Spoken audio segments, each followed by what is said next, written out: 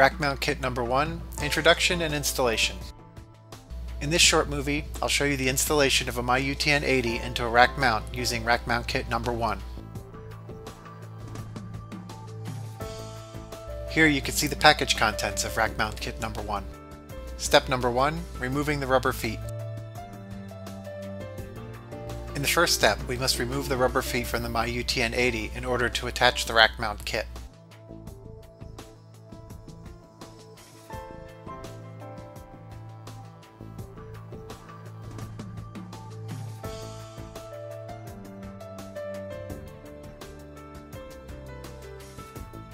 Step 2. Screwing the rack mount kit to the MyUTN-80.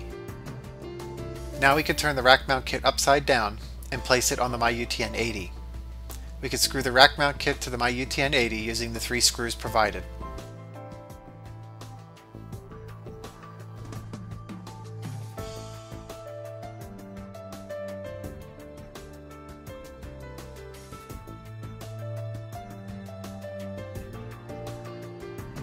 Step 3. Inserting the rack mount kit into the rack unit.